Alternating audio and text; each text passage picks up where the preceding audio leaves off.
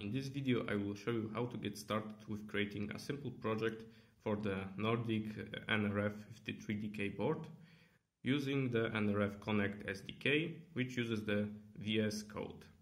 So in this example we will use LED blinking similar to the one provided default by the manufacturer and also we will print some debug through the CDC port of the J-Link.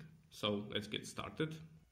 In order to open the environment, we open the NRF Connect for desktop, select Toolchain Manager, open, and in here we will select the latest SDK and open VS Code.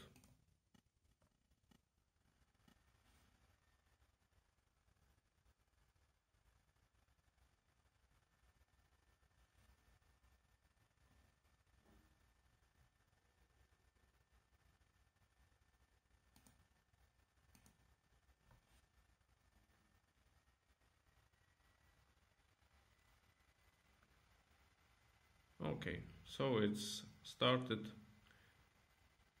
In the applications I got an old application which I don't use so let's remove it.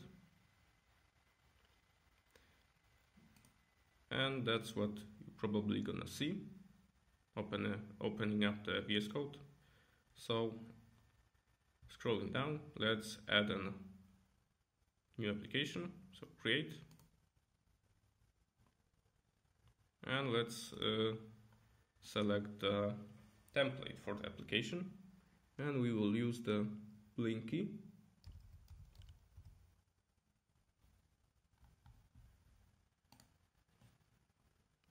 It chooses only one LED uh, blinking. So let's select it. And let's name it NRF53 link. Let's create the application. Click yes. Allow.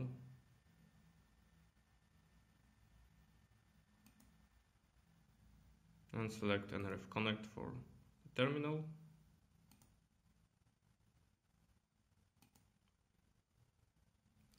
Okay, so now we have the application and we have to add the build configuration. So basically the board, which we will use. Okay, and this is the board which we will use in this example. Only simple application. Let's build it.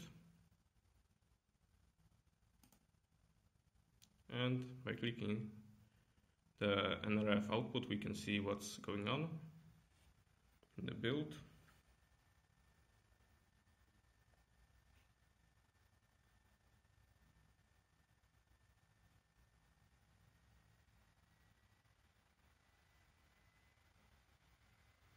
There are quite a lot of files just for this simple project because it uses the Zephyr OS and this is why because we have uh, two cores for the CPU, which is the Nordic uh, NRF 5340.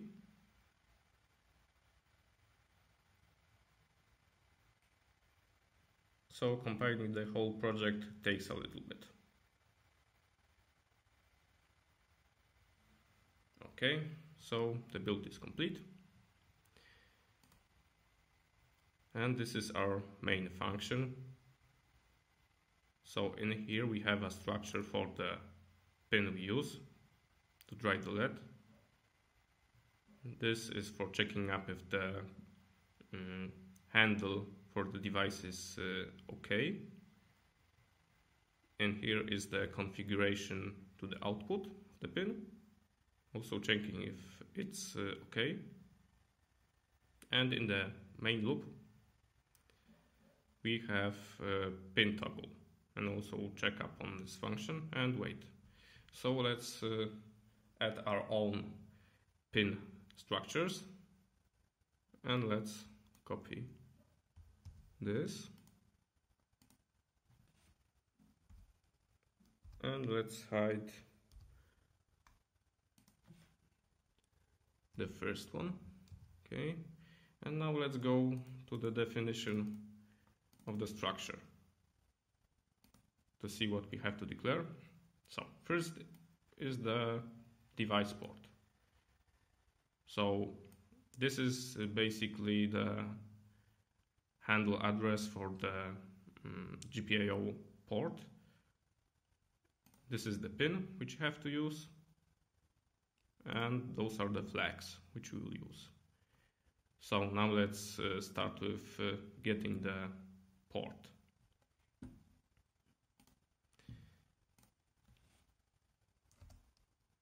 Let's declare it GPIO 28 and now the device.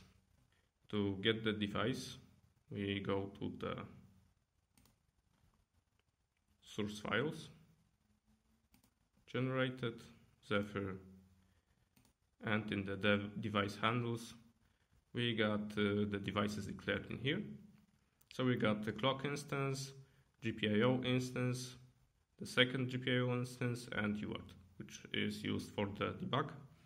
So now to check which is the instance for the GPIO port 0 we go to the board tab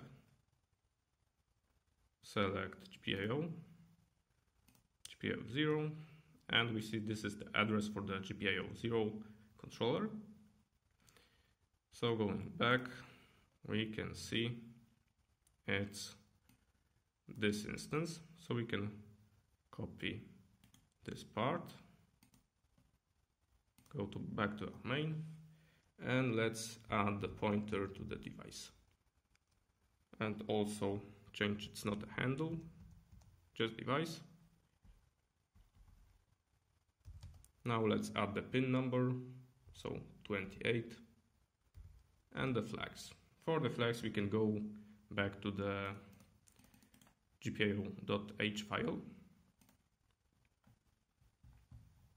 and going up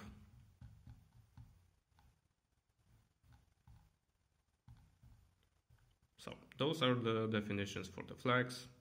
We will use only simple GPIO output.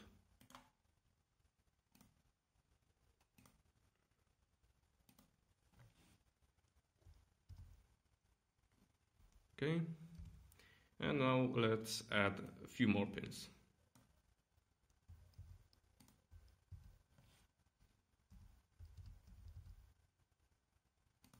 And let's name them 29 and pin 29 30 and the last one is the 31 okay uh, we can just remove uh, checking up the port. If we would like to check it, we have to change uh, from that to the GPIO number we have here. But we can also remove it. There's no processes running Uh, in the code else than the GPIO, so we can just ignore it or remove it. And we don't need to check up on the commands. They are okay, because they are definitely okay for our board. So let's add our own structures. And by declaring it as GPIO output active, they will be set to high.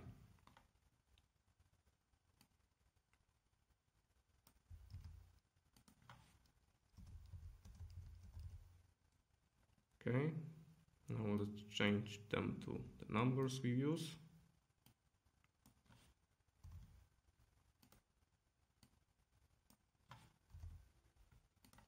Okay, now in the main loop, we don't need to check up on the function.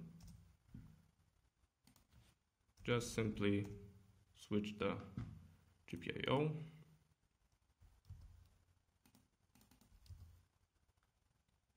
and let's wait 100 milliseconds.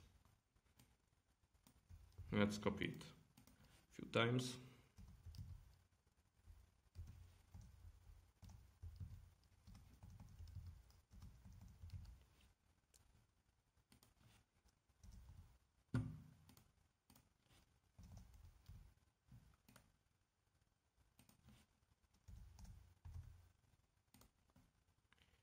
Now in order to make them go with a circle around, we change up the numbering. Okay, and also now let's add a debug print. So we will print the number of the loop we are currently in.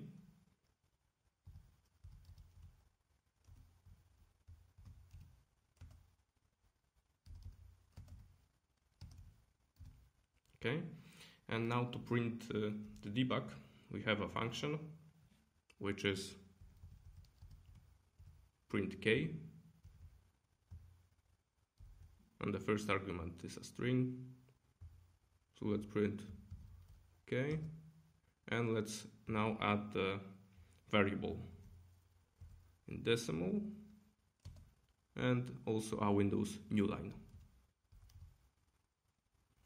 and the second argument is the variable for the number of the loop. Okay and now let's increase the number. Okay. Uh, to find this file you can go to the build tab. And in the Zephyr in the NRF Connect SDK, you can go to the kernel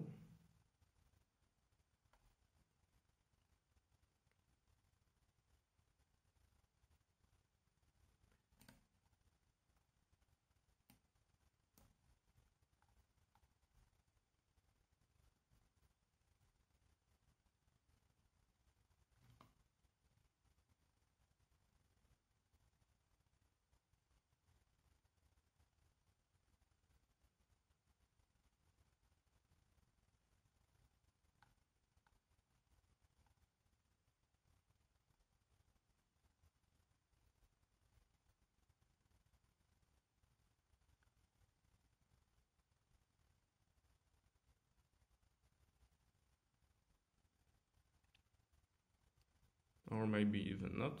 No, it was OS, not kernel. Let's close it up.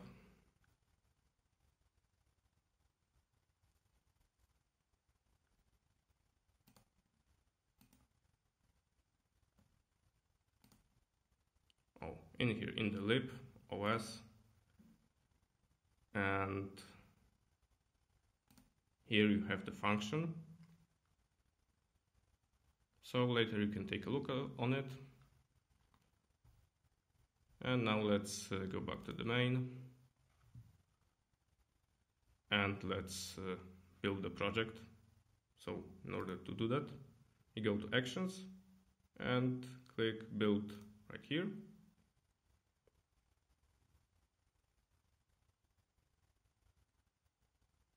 Okay, and it's compiled. So now we can flash it to the board.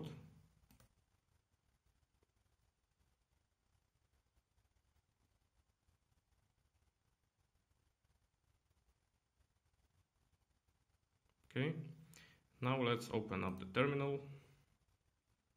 Now let's select a new terminal, serial port and the last one with default settings.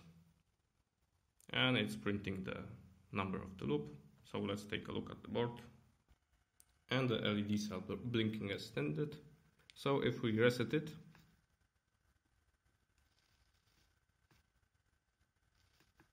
they start up at the same level. So thanks for watching, see you in the next one.